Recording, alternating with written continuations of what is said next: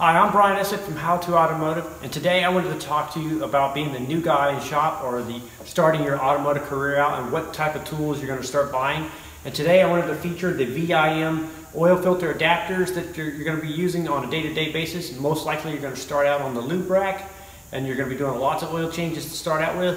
And there's lots of new tools coming out for all these new vehicles and I wanted to show you these, and feature these, and uh, show you the difference between some of the cheaper brands versus these quality brands and why you would want to pick these up. So stay tuned for that.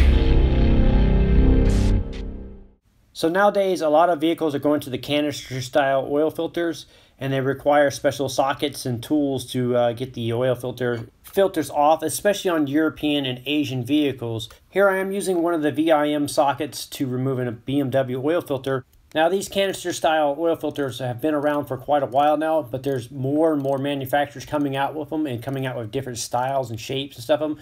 So I teamed up with VIM Tools because they make one of the best master kits and the, one of the most quality tool sets you'll find on the market for removing all these different assortments of uh, oil filters. So the reason why I'm bringing these to you is this is where you're going to start out is on the lube rack. You're going to be doing a lot of oil changes and having the right tools for the right job is going to help you be more efficient, which is going to be a benefit for you guys. For your boss is going to see that that you're you're investing in quality tools and that you're efficient, and it's going to help you progress faster. So in this first couple of clips here, I've been featuring the European Master Set. This set has all the popular models you're going to be working run across and working with. So you're going to you're gonna, it's going to do your Volkswagen, your Audi, your Volvo, your Mercedes, your BMW, your Mini Cooper, Land Rover. It's going to be the most common vehicles that you're going to run across on a day-to-day -day basis. Uh, so that's why I recommend this particular set. I will link this up in the description of the video. So this next set is designed to work with all your Asian vehicles that have the canister filters.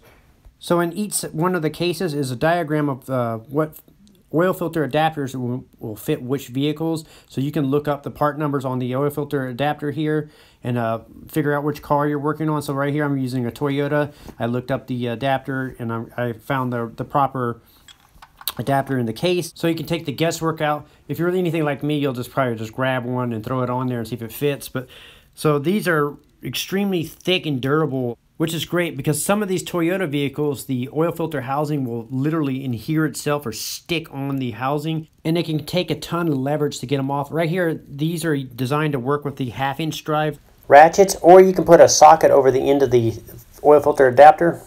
So the quality of the VIMs are, are second to none. If you look at these other brand here and look how thin and cheap they are, um, and also, some of the other brands, they don't come in kits. You have to uh, buy them a la carte. So it's way more expensive to buy them one at a time as you run across them. So these thin stamped metal type like this one right here I'm showing you are very prone to flexing and also the end of it will actually strip out. If you look right here, it's almost rounded out and it's pretty much useless after a while. So you can see here, if you invest in cheap tools, you're going to constantly rebuy them, which will not benefit you in any way. Another feature I like about them is when you have to clean them, they have a hole in the bottom. So having the hole in the bottom makes it much easier to clean. Some of the other brands do not have a hole in them and it just collects the oil in the bottom and it makes it very difficult to clean. So this VIM one here, all it does it requires to clean it out is maybe use some parts cleaner or brake clean and you can spray it in here and as you spray it, it will drain out the bottom of it. That's just one more way this will make it more efficient for you to, to own. So as you spray those and clean them out, it's much easier than uh, wiping and trying to pour out the uh, oil. Links for both the Asian and the European kits will be in the description. I'm Brian Eslick from How To Automotive. I'd like to thank you guys for watching my videos. Encourage you to subscribe. Invite you to head over to the howtoautomotive.com website for more valuable videos like this. Thank you again for watching and be sure to subscribe.